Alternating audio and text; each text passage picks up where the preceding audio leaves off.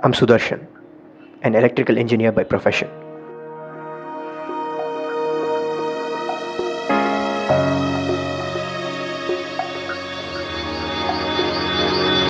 But cricket has always been my passion.